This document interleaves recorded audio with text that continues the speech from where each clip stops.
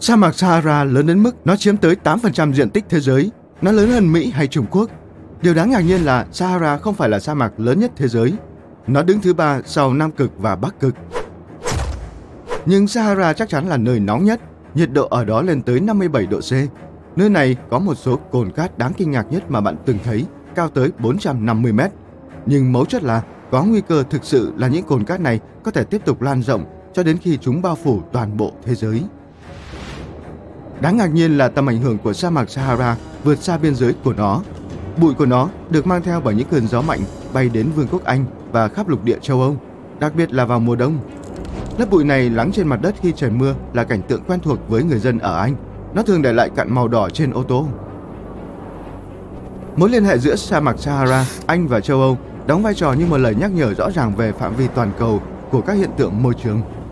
Bạn có thể nghĩ đây không phải là vấn đề lớn, nhưng nó có thể biến châu Âu thành sa mạc, khiến đất đai cằn cỗi và dân cư châu Âu không có thức ăn. Đất là một khía cạnh cơ bản của sự tồn tại của con người, cũng quan trọng như nước sạch và không khí. Không có nó, chúng ta chẳng còn gì ngoài khung cảnh ảm đạm và cằn cỗi. Sa mạc Sahara đã vượt qua biển Địa Trung Hải. Điều này đáng lo ngại và có thể thay đổi cảnh quan mãi mãi. Một phần năm diện tích Tây Ban Nha đã bị biến thành sa mạc. Nạn nhân tiếp theo là Italy. Quốc gia cũng phải đối mặt với vấn đề sa mạc hóa. Trên thực tế, hầu hết các nước châu Âu đều gặp phải vấn đề tương tự. Theo chuyên gia Maurizio Scortino, vùng đất không thay đổi trong gần 2.000 năm sẽ chủ yếu trở thành đá và những người sống ở đó sẽ không còn nữa.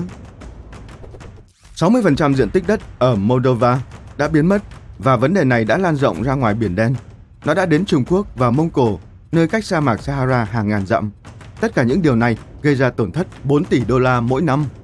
Mối đe dọa nghiêm trọng đến mức ngay cả Liên Hợp Quốc cũng đã tập hợp các nguồn lực cần thiết để giải quyết vấn đề càng sớm càng tốt. Ý đang trợ giúp châu Phi nhằm ngăn chặn sa mạc Sahara mở rộng. Nếu quá trình này không dừng lại trong 10 năm tới, hàng triệu người sẽ buộc phải rời bỏ nhà cửa. Sa mạc Sahara đang lan rộng với tốc độ khoảng 48 km mỗi thập kỷ. Hãy làm phép tính để xem mất bao lâu để nó bao phủ khắp châu Âu nào. Kể từ năm 1920, Sahara đã mở rộng khoảng 10%, nhưng không phải mọi hy vọng đều đã mất vì hơn 172 quốc gia đã cùng nhau chấm dứt tình trạng sa mạc hóa trên thế giới.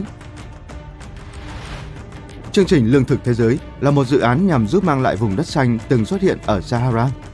Khi người ta nói với những dân cư sinh sống tại Sahara về điều họ sắp làm, thì dân cư nơi này đã cười vào mặt họ và nói rằng điều đó là không thể. Nhưng khi bạn có một mục tiêu cụ thể trong đầu, điều không thể sẽ trở thành có thể. Nếu du hành ngược về quá khứ khoảng 5.000 năm, chúng ta sẽ thấy một khu rừng xinh đẹp với cây cỏ xanh tươi. Khí hậu châu Phi đã thay đổi trong 21.000 năm qua, từ cây cối xanh tươi đến những sa mạc không thể ở được. Điều này liên quan đến sự tự quay của trái đất và gió mùa mang nước đến lục địa khô hạn này. Nhưng với sự giúp đỡ của các nhà khoa học và một số thủ thuật thông minh, chúng ta có thể đưa cây xanh trở lại và ngăn chặn sự mở rộng của sa mạc Sahara. Sông Senegal đóng vai trò là biên giới giữa sa mạc Sahara, thành phố Senegal và Mauritania. Khi nhìn khu vực này từ không gian, bạn sẽ thấy sa mạc đang mở rộng đến Senegal như thế nào, vì thảm thực vật dọc theo bờ sông gần như không có.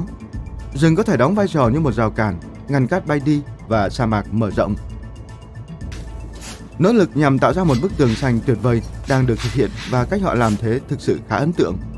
Không có gì mọc lên ở khu vực hiện đang được khôi phục trong hơn 40 năm, khiến người dân địa phương phải tìm nơi khác để gọi là nhà. Người dân vui mừng khi thấy đất đai tại đây có thể được phục hồi. Họ rất quyết tâm và học cách làm việc với đất và trồng trọt.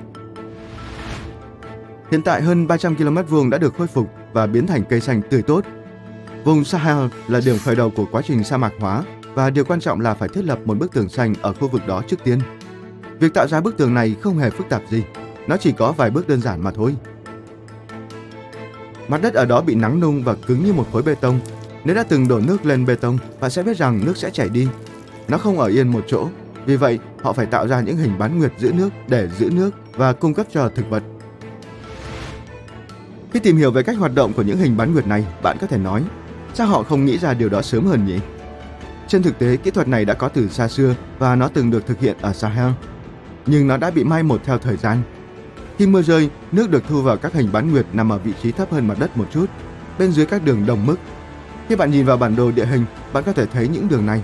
Chúng cho thấy độ cao của mặt đất và đóng vai trò quan trọng trong việc định vị các hình bán nguyệt. Cuối hình còn có bờ ngăn nước tràn ra ngoài. Và ở giữa có những cái cây vui mừng vì có nhiều nước để sinh trưởng. Ngoài ra, điều cần thiết là phải trồng các loại cây bản địa quen với điều kiện khắc nghiệt như cao lương và kê. Những loài thực vật này đã tồn tại ở đó hàng nghìn năm và tạo ra một lượng sinh khối lớn. Điều đó có nghĩa là đất đai có thể được phục hồi nhanh hơn và con người sẽ có thức ăn sớm hơn. Nước đi vào hình bán nguyệt sẽ không bị mất. Nó sẽ đi qua mặt đất và nổi lên trên vùng nước ngầm. Điều này sẽ đảm bảo rằng nguồn nước sẽ không bao giờ cạn kiệt và các thế hệ tương lai sẽ có nguồn nước dùng được. Kỹ thuật trồng cây tuyệt vời này không chỉ giới hạn ở hình bán nguyệt. Người ta cũng tạo ra các dây chuyền và trồng nhiều loại rau khác nhau, chẳng hạn như cà chua. Tiếp theo, có những nơi chỉ dành cho cây như chanh, cam. Sau một ngày dài nóng nực, không có gì tuyệt vời hơn một cốc nước chanh lạnh vừa mới pha cả. Cây cối cũng sẽ bảo vệ đất và nếu may mắn thì chúng ta sẽ có một khu rừng mới ở sa mạc Sahara. Mục tiêu là sao chép động thái rừng. Bắt đầu với những cây nhỏ và dần dần mở rộng sang những cây lớn hơn và hữu ích hơn những cây nhỏ. Người ta đang đặt mục tiêu trồng hơn 10.000 cây. Hiện tại nhiều người đang rời Sahara sau mùa mưa đi đến các thành phố hoặc rời khỏi châu Phi. Vào thời điểm này trong năm, làng mạc giống như những thị trấn ma, chỉ có động vật mới được tìm thấy ở đó. Hầu hết mọi người đều đã đi mất ai có thể phê phán gì cơ chứ? Không ai muốn sống trên cát cả, đó là nơi không thứ gì mọc lên được. May mắn thay với tất cả công nghệ cũ mới lạ này, nhiều người đang dần quay trở lại mảnh đất của mình và bắt đầu làm nông nghiệp.